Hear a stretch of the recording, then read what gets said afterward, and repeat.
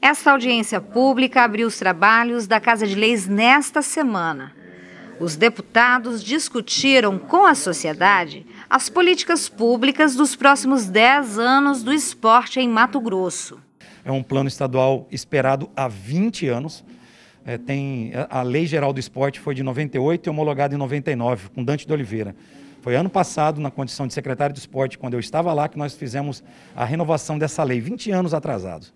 E agora o Plano Estadual de Esporte e Lazer, 20 anos atrasados também. Mas que bom que nós conseguimos, nesse tempo, a gente conseguiu aprovar tudo. Espero que o governador sancione é, em outubro e nós temos o nosso Plano Estadual de Esporte e Lazer, que direciona metas, prazos, investimento, quais são os esportes que desenvolve é, as capacidades no estado de Mato Grosso. Mato Grosso não pode ser gigante só na produção do agro. Mato Grosso também tem que ser gigante para a sua gente.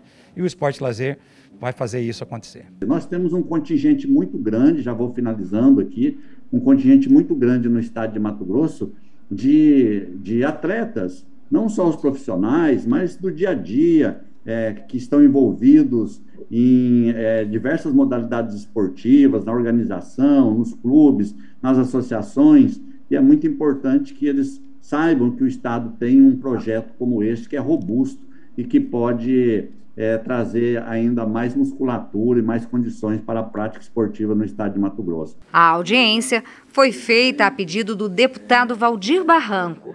Ele tem um projeto de lei em tramitação para colocar psicólogos e assistentes sociais nas escolas. Hoje é lei é, sancionado já pelo presidente da República em 2019 e os estados não têm cumprido com isso que é obrigação por lei. É, vale lembrar que a PEC 15, a PEC é, que estabeleceu o novo Fundeb no Brasil, ela elevou o gasto com o pessoal de 60% para 70% dos recursos arrecadados pela cesta do Fundeb, pelos impostos que compõem a cesta do Fundeb, para gasto com o pessoal, já para incluir nesse arcabouço a contratação desses profissionais de psicologia e de assistência social como é, partes da educação pública.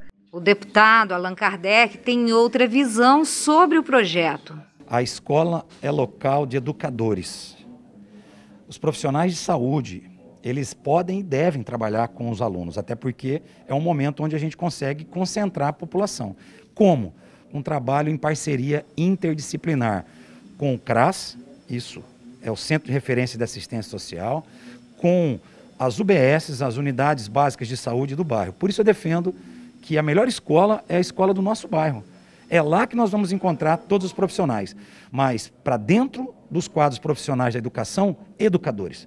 A educação tem um orçamento para serem contratados professores, para ser contratados agentes relacionados ao âmbito da educação. Os agentes relacionados à, à saúde, é, agentes relacionados à segurança pública já têm as suas passas. Deve ser trabalhado interdisciplinarmente.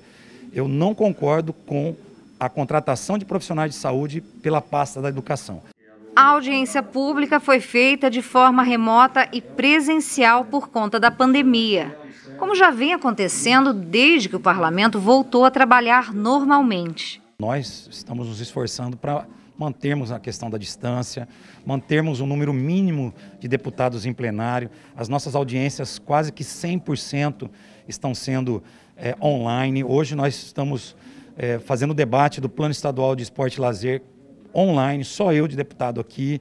Então a gente tem tentado avançar nesse sentido, é, fortalecendo a nossa qualidade para os nossos servidores da casa, projeto é, de construção da nossa ciclo, é, da nosso, é, da nosso bicicletário, para aqueles servidores que vêm pedalando até aqui. Então, enfim, a gente tem feito também o papel de casa. Não adianta a gente aprovar leis e leis que fazem com que tanto outros órgãos e o governo se esforcem para a prática do esporte e lazer. E nós aqui né, não fazemos nada. Acho que a gente está avançando nesse sentido. As discussões com os setores interessados auxiliaram o planejamento das políticas públicas para os próximos 10 anos. Mais do que esse plano ser um documento que vai nortear, que vai ser uma lei é, esportiva, é preciso que as pessoas que estão lá, lá no Araguaia, lá em Alta Floresta, lá na, nos lugares mais distantes eles possam ter acesso a isso, né? E este momento foi fundamental para isso. Então, é, é